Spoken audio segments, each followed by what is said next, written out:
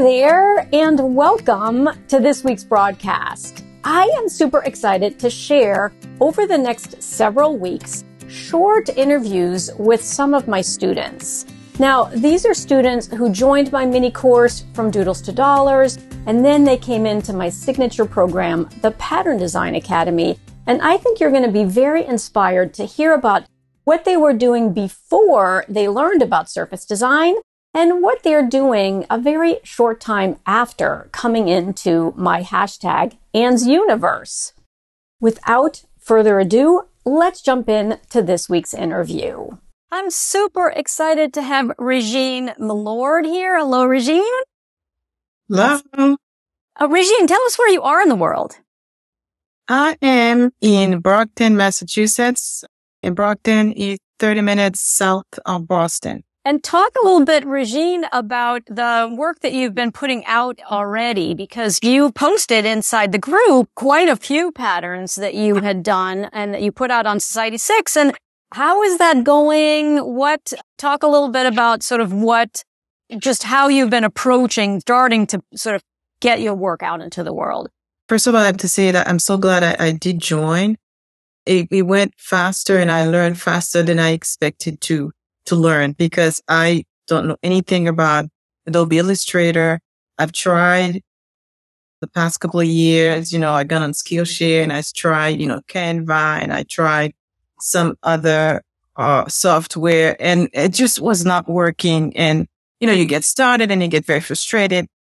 I get very frustrated when things don't work with technology and I just want to just throw it out.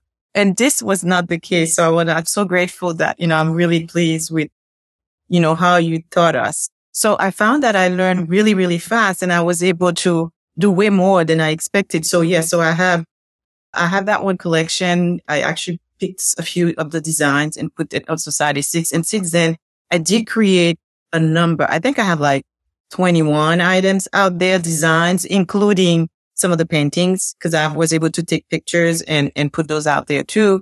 You know, in terms of the process itself has been very simple and very easy. And it's very rewarding to see your creations out on, you know, real pieces, you know, of, you know, like on, on a duvet cover, on a mug. I actually got my mug here. I ordered it so I would see what it looked like. Yeah. And I'm very pleased with it. You want to touch it? Yeah. Yeah. Show us. Show us. So that's, that's the one. Oh, it came out great. Yeah, they came out really, really nice. So, and I wanted to make sure at least, you know, it's, is it really? Cause I, I was a little afraid. Is it really going to look like, like what I think it looks like? Is it, the design going to be too small, too big? But it, it came out perfect. So I'm very pleased with it. So it's, it's been a very rewarding, very satisfying journey so far. I want to create more I actually working on doing some work for Spoonflower. But before I, I go to these other platforms, I'm taking a little bit of time to think about the strategy, kind of what I really want to put out there and, and what, how best to approach it. Cause I've gone on Spoonflower and there are some very beautiful designs. Oh my God. There are some magnificent artists out there. And I want to make sure that what I bring out there is something that comes for me that's a little bit unique. So I'm spending some time because I had some stuff that I thought I was going to put out there and I said, no, I'm going to spend some time and think through this and find out what my, my unique design, you know, my niche, what is it that I really want to bring out there? And I think I found it, but I'm going to have to do some work creating new patterns for that. You know, the great thing is that I've been working from home. I think we're moving towards more of a hybrid with just going into the office you know, maybe a few days a week at the max.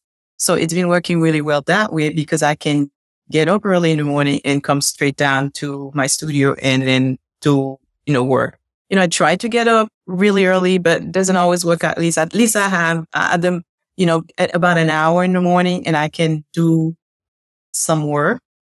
Typically what I will do in the morning would be maybe do some sketching or I, I've actually, since I've taken the pattern design, I, I bought a, a book about, you know, how to draw flowers. Really good. It just kind of shows you, you know, how to look at the shape and then continue on to the actual flower. So I've been doing that, you know, as my kind of my hundred day challenge. It hasn't been consecutive, but I, you know, and that's been really, really great. I really enjoy that because it's something that puts me right into feeling that I've created something right in the morning. And then I can just leave that and go do my regular work because for me to start doing any work in terms of the paintings, I really need over an hour to just really kind of delve in and if there's a work in the morning. So then, you know, so I'll work you know, I work all day. And then in the evening, after I've given myself a little bit of a break, go for a walk, I'll come back and I usually work on the pattern design work because that's, that's just like feels, kind of feels easy.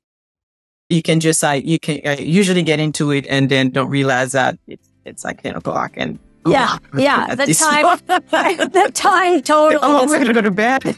Thank you again so much and bye for now.